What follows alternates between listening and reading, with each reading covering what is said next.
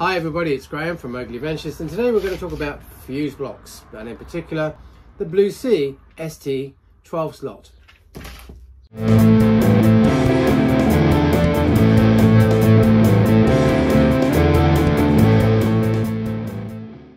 So thank you for joining us today. Um, we are going to talk about this fuse box. I'm going to put this in the van later, so subscribe and you can come back and check and see how we get on as I install this and other upgrades to my 12 volt system in my 4x4 Sprinter van. Okay, so fuse blocks. Why do we need them? If you've built a van, you already know that you get lots and lots of circuits and each of those circuits has to has a fuse on it. If you're about to build your van, you're going to discover this anyway.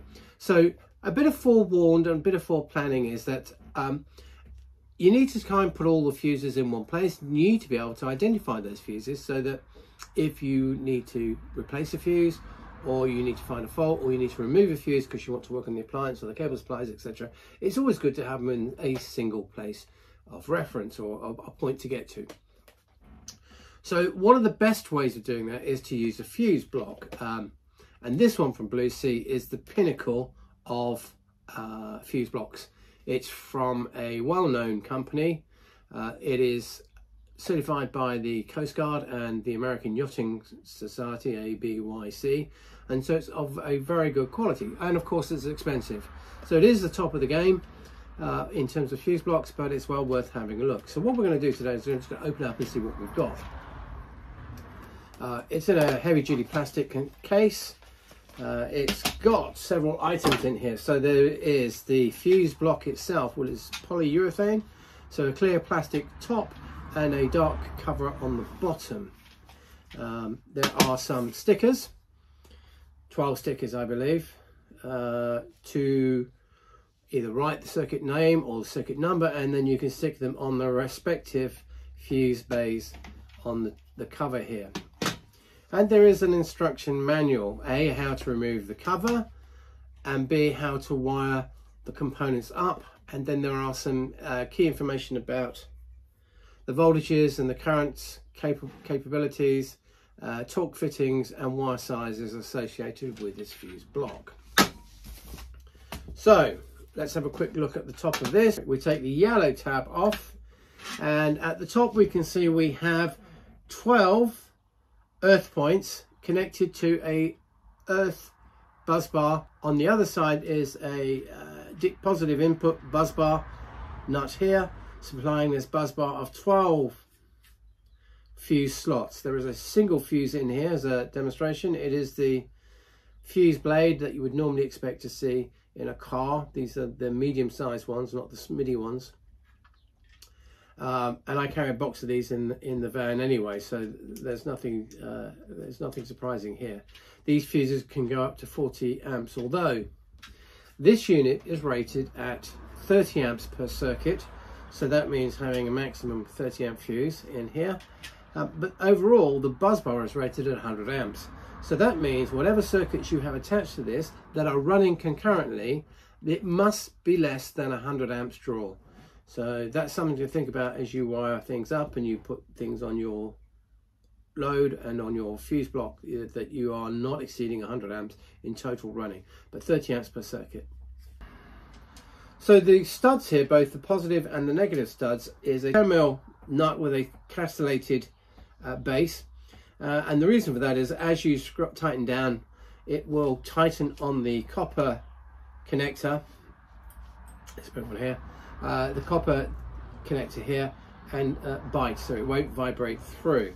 Now you can use an M6 on this, M6 size is the smaller circuit size but you'll probably be struggling to get a cable to fit in here because the cables that fit in here are quite large. You can have a uh, 10 mil to 25 mil squared which is a 6 to 4 AWG size cable sitting in here.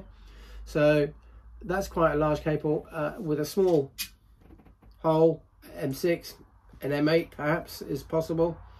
Uh, and you will torque it down like that.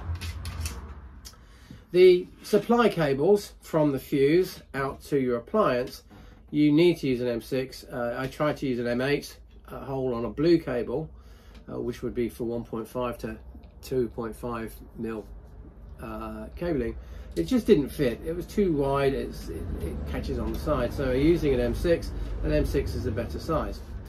The tabs here, it's screwed, it's just called a screw terminal, which is what the ST stands for. ST blade fuse box is screwed terminal.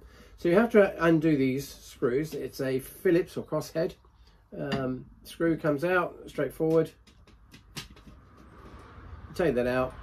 You take your connector, which is connected to a wire, and you screw it in there and you just screw that back down. And that's you connected. Put a fuse in. Boom bob's your uncle. So very simple. Not very uh, complicated in its in its entire in its entirety in use but it just makes life very very easy. Because now every circuit is lined off here. And in the diagram that I'm showing you which is coming which comes from my um, design tool you can see how that sits where we've got the circuits uh, being powered by the battery through a large fuse into here, probably an ANL fuse because it's got to be 100 amps. And then from each of these circuits off to each individual source. Now you can put a switch between here and the appliance, or you can go straight to the appliance and use the appliance switch, or run the appliance through some other control mechanism, entirely irrelevant to this unit itself.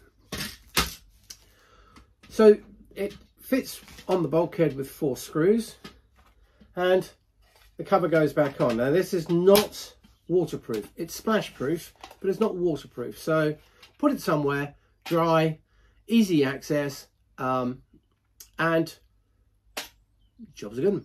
Anyway, my name is Graham. This is Mowgli Adventures. Subscribe as the next set of videos I will install this along with some other products when I upgrade my van. Have a great day. See you soon. Bye-bye.